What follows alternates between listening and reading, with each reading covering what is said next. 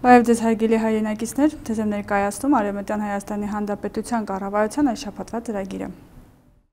Նշեմ, որ Արևմտյան Հայաստանի Հանրապետության կառավարության ներկայացուցիչները երկրի նախագահ Տիկին Լիդիա Մարկոսյանը, Արևմտյան Հայաստանի Հանրապետության ազգային խորհրդի նախագահ պարոն Արմենակ Աբ รา համյանը, ազգային ժողովի նախագահ Տիկին Նելի Հարությունյանը այցելեցին Արևելյան Հայաստանի պատմության թանգարան։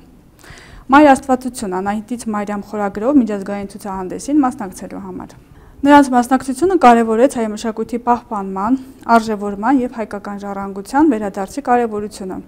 ընդգծելով միջազգային ուշադրությունը եւ համախմբվածությունը այս հարցում։ Նշենք, որ Անահիտ Դիցուհին ունեցել է առանձնահատուկ նշանակություն Արևմտյան Հայաստանի համար, քանի որ այս կիսանդին գալիս է Արևմտյան Հայաստանից։ Նա համարվում էր պտղաբերության եւ մայրության դիցուհին։ Արևմտյան Հայաստանի հին հայկական շրջաններում, հատկապես Երզնկայի եւ Արճեշի տարածքներում, Անահիտին մեծարել են որպես հայոց կյանքի եւ բնության անբաժան մաս։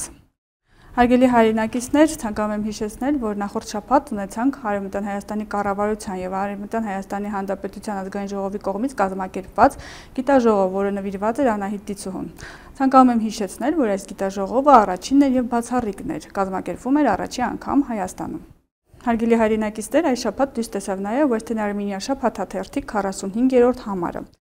Այս համարի շապիկին պատկերված է Հրան Դինքը։ Դինքը Ակոս թերթի հիմնադիրն էր ու երկար տարիների խմբագիրն էր։ Այս նոր համարում դուք կարող եք նաև ծանոթանալ հետևյալ թեմաներին։ Հայերի դեմ իրականացված ցեղասպանությունը վերապրածների դպրոցական հուշերին, Ցեղասպանագետների միջազգային ընկերակցությունը բանաձև Արցախի հանրապետության վերաբերյալ թեմային, ինչպես նաև կարող եք ծանոթանալ Աշոտ Հարությունյանի տեսակետը Արևմտյան Հայաստանի հայրաքաղաք հանիի վերաբերյալ։ Արևմտյան Հայաստանում հայտնաբերվել են Անայի Դիցու գլուխը եւ նման շատ այլ թեմաներին կարող եք ծանոթանալ հենց այս համարում։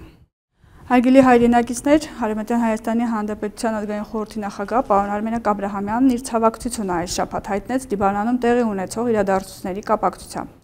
Պարոն նախագահը մտահոգությամբ է հետևում Լիբանանում տեղի ունեցող իրավիճակին։